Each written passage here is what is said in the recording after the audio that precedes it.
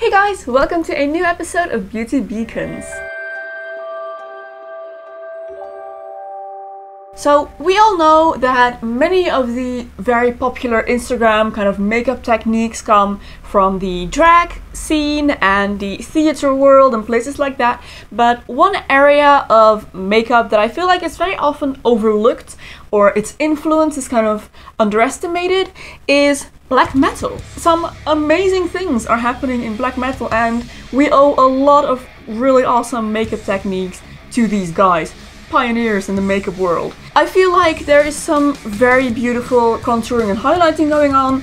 Um, very heavy, I have to admit. But I mean, then again, heavy contour and highlight is all the rage right now, so why not? Today I'm going to show you four true beauty beacons of black metal. Guys that have really paved the way for, you know, makeup lovers all over the world. Let's begin with the first one, who is going to be Abbath Doom Occulta. He is the former guitarist and vocalist of Norwegian band Immortal, and he has, I feel, one of the most iconic corpse paint looks in the black metal scene. A look that is very much tied in with some awesome dance moves. If you are wearing this makeup, you are obliged to do the crab walk and the gyrating pelvis dance. So to do Abbath's makeup, I'm going to start by painting a white triangle on my forehead then one on the lower part of my face as well.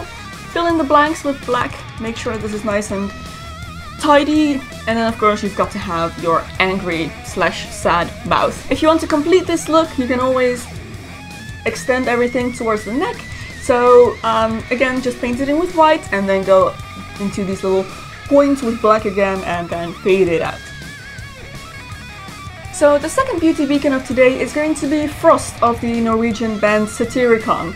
He is the drummer and he is generally seen as one of the best and fastest drummers in the scene. He also studies mathematics. He does not always perform in this corpse paint, but his corpse paint is one of the most unique ones and I definitely felt like it had to be included in this video.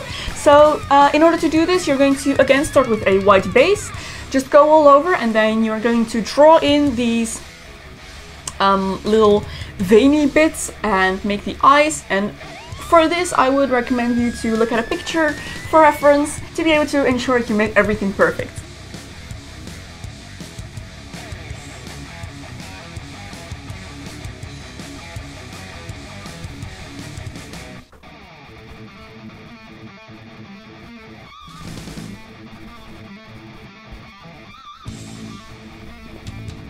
So the third beauty beacon of today is Nergal, who is the frontman and main composer of the Polish band Behemoth. I hereby officially dub him the king of the smoky eye. This is a gorgeous smoky eye, guys, and I can definitely see myself wearing this on a night out, a fancy dinner, uh, a movie premiere, who knows. It is absolutely gorgeous, and to do this, you're going to once again start with a white base. This is very important. I mean, you can use this in other makeup um, and other fields of makeup as well. It's always good to start with a white base to kind of even out your skin tone, you know? Start with a white base and then we're going to work on these smoky eyes. So start by really focusing um, the blackest black on the eyes just in a kind of circle and then start blending this outwards towards your temples. This creates that beautiful kind of um, wind tunnel face, you know, like uh, Tyra Banks says.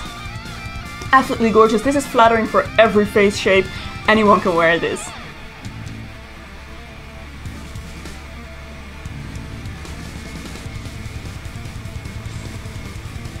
So the fourth and last beauty beacon of today is going to be Einar Selvik, who now makes beautiful folk music with his band Wardruna. You may know them if you watch the show Vikings, they make a lot of music for that, but he was formerly the drummer for the Norwegian band Gorgoroth, and he was known under his stage name Kvitrafn. When he's not making music, he works in a nursery, and I also feel like he has a very beautiful corpse paint going on. Again, lots of contouring, and I feel like he has this very unique kind of chin um, thing going on, which is very beautiful. I also think this is flattering for many people, and also very applicable to many different occasions. So to make this, I'm going to start once again with a white base. You know the drill by now, always start your makeup with a white base. And then I'm going in with the black and I'm going to fill in my eye shape and once again this is one of those um, cases where you just want to look at a picture for reference to make sure you get everything perfect. So just try to like replicate the shape and then go in with a smaller brush and just draw in your lines and the chin thing and yeah, then marvel at your beauty. So I really hope I've kind of shown you um, the beauty of black metal makeup techniques and I think I'm just gonna end the video here so I really hope you enjoyed it. If you did don't forget to give it a thumbs up and subscribe to my channel for more videos. If you have any other beauty icons that you would like me to create the looks of, leave them down in the comments below and I will look through and pick someone up for next week.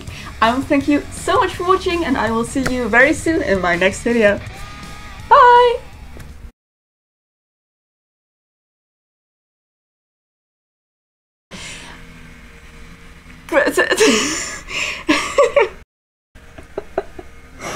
Uh, kwit, kwitraffen? Ik kan geen Noors.